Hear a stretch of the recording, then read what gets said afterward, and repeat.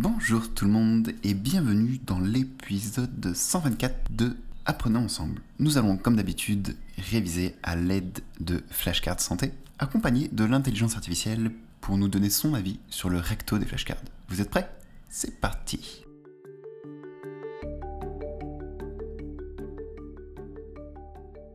C'est quoi la zéaxanthine Alors la zéaxanthine, c'est un euh, caroténoïde qui a un effet antioxydant très intéressant. Son effet antioxydant est particulièrement intéressant dans la macula de la rétine pour euh, protéger des radicaux libres du coup, euh, ce qui est assez intéressant, hein.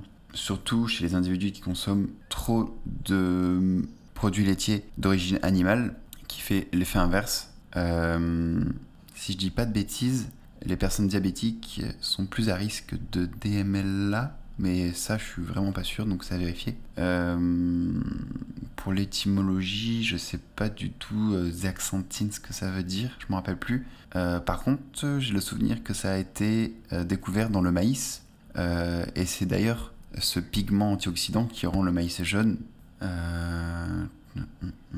Faire attention aussi à la confusion zéaxanthine, astaxanthine, qui est un autre, un autre antioxydant de la même famille des caroténoïdes, mais qui là a plus euh, un pigment rouge, rouge rosé on va dire, que euh, la zéaxanthine qui est souvent jaune. Euh, vu que c'est un caroténoïde, il est liposoluble. Enfin, elle l'est, du coup, vu que c'est la zéaxanthine. J'ai jamais vu de rapport d'effet secondaire lié à la zéaxanthine. Euh, je sais pas quoi dire d'autre dessus, donc on va passer à la vérification tout de suite. C'est parti. C'est quoi la zéaxanthine La zéaxanthine est un pigment naturel de la famille des caroténoïdes, que l'on trouve principalement dans les légumes verts, les œufs et certains fruits. Elle joue un rôle crucial dans la protection des yeux contre les dommages causés par la lumière bleue et le stress oxydatif. La zéaxanthine, avec la lutéine, un autre caroténoïde, s'accumule dans la rétine, spécifiquement dans la macula qui est la zone responsable de la vision centrale et de la perception des détails fins. Ces caroténoïdes filtrent la lumière bleue haute énergie, potentiellement nocive, qui peut endommager les couches légères sensibles de la rétine. En outre, ils fonctionnent comme des antioxydants pour neutraliser les radicaux libres générés par la lumière et le métabolisme cellulaire, réduisant ainsi le risque de dégénérescence maculaire liée à l'âge, DMLA. Bien que le principe de clé-serrure ne s'applique pas directement ici, la zéaxanthine fonctionne spécifiquement par absorption de certaines longueurs d'onde de la lumière, ce qui peut être comparé à une serrure qui ne laisse passer que certaines clés de lumière, protégeant ainsi l'œil. Le terme zéaxanthine vient du mot grec zéa, signifiant maïs, car ce pigment a été initialement isolé à partir de maïs, et xanthos, signifiant jaune, référence à sa couleur. Si la zéaxanthine était une paire de lunettes, elle serait celle avec des verres spéciaux anti-lumière bleue, conçus pour les nerds de la tech et les rats de bibliothèque qui veulent protéger leurs yeux des longues heures passées devant des écrans. Consommer régulièrement des aliments riches en zéaxanthine peut aider à réduire le risque de développer des maladies oculaires chroniques comme la DMLA et la cataracte.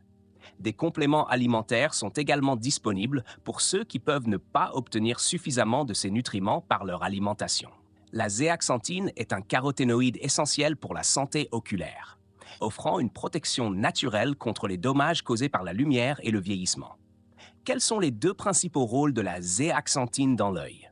Euh, alors moi j'ai qu'un rôle en tête, c'est le rôle antioxydant. Euh, après si on devait donner un deuxième rôle, ben je dirais euh, un rôle d'anti-lumière bleue en jouant sur la réduction d'ondes sur le spectre lumineux, mais je dirais que ça a directement un rôle d'antioxydant aussi. Exactement. Tu as bien capté les deux rôles principaux de la zéaxanthine dans l'œil. 1. Antioxydant.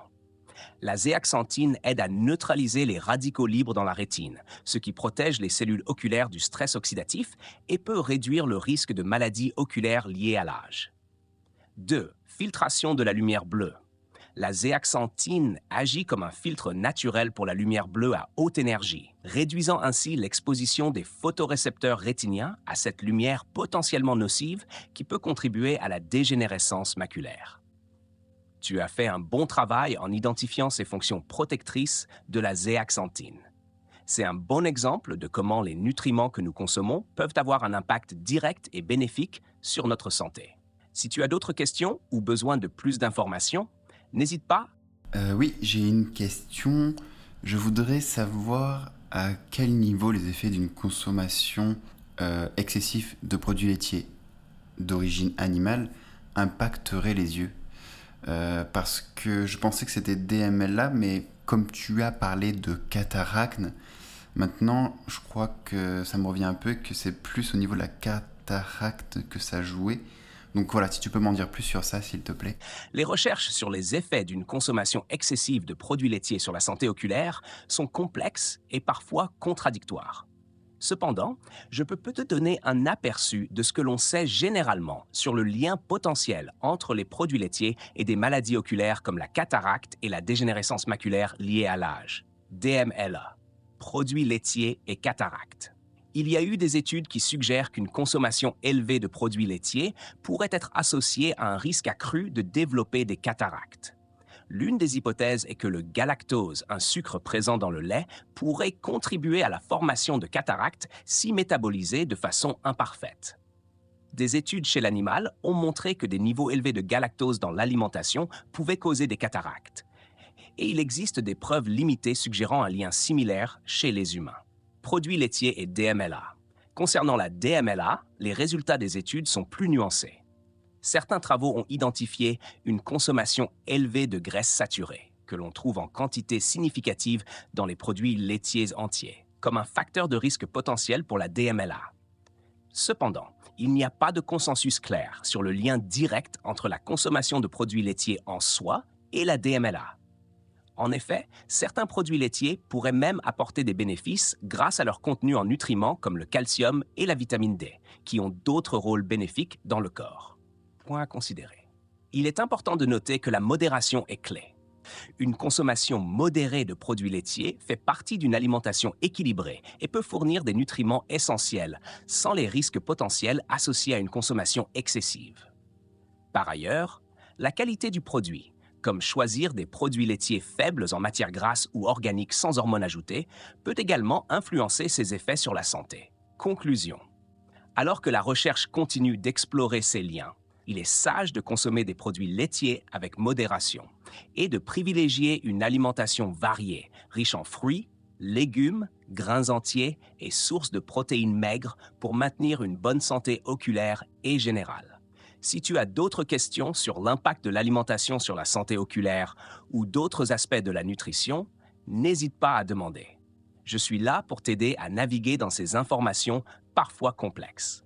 Ok, donc euh, il y a quelques petites choses à dire avant de passer à la flashcard suivante.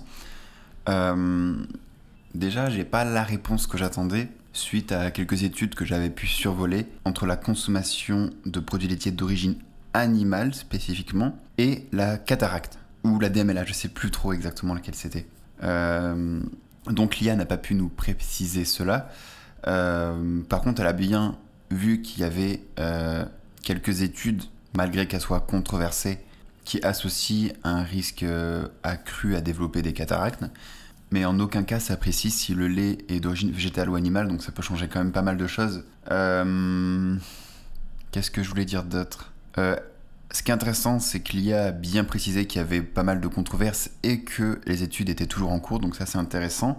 Et puis bon, pour une question comme ça, c'est vrai qu'il vaut mieux rechercher les études, surtout qu'il y en a des récentes que l'IA n'a pas forcément dans sa base de données, euh, et ensuite les vulgariser. C'est d'ailleurs ce qu'on fait aussi sur la chaîne, mais à petite dose. Donc si vous, vous avez des études intéressantes, n'hésitez pas à les partager. Les produits laitiers étant hyper intéressants, ce serait bien d'en savoir un peu plus sur euh, le risque de DMLA et de cataracte, et savoir un peu plus aussi au niveau de l'origine euh, du règne animal ou végétal.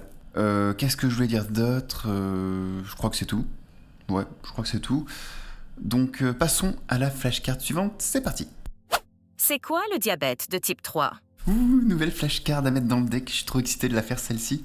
alors, le diabète de type 3, c'est en fait, si je dis pas de bêtises, parce que je connais pas trop le sujet, c'est euh, la maladie d'Alzheimer qui est causé par une résistance à l'insuline. C'est pour ça qu'on l'appelle diabète. Mais je crois qu'il y a deux types de, de diabète 3, pardon. Un qui est lié au diabète sucré et l'autre non. Que dire d'autre sur ça? Oui, quand je parlais de résistance à l'insuline, il euh, y, a un dysfonctionnement euh, similaire au diabète de type 1 et 2 qui se passe dans le cerveau.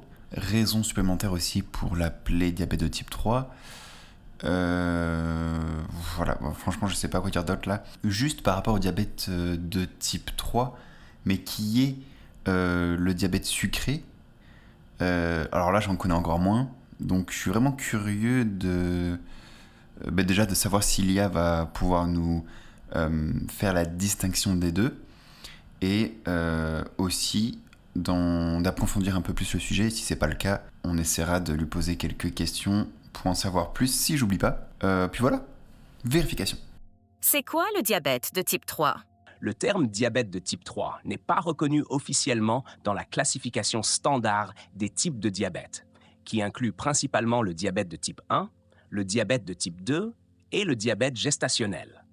Cependant, il est parfois utilisé de manière informelle pour décrire certaines conditions qui ne rentrent pas exactement dans les catégories traditionnelles. Voici deux utilisations courantes du terme diabète de type 3. 1. Diabète de type 3C le diabète de type 3C est un terme médical plus spécifique qui fait référence à une forme de diabète causée par une maladie ou une lésion du pancréas. Ce type de diabète peut résulter d'une pancréatite, d'une ablation chirurgicale du pancréas, de troubles héréditaires du pancréas, de cancer du pancréas ou de certaines autres conditions médicales qui affectent directement le pancréas et sa capacité à produire de l'insuline. 2.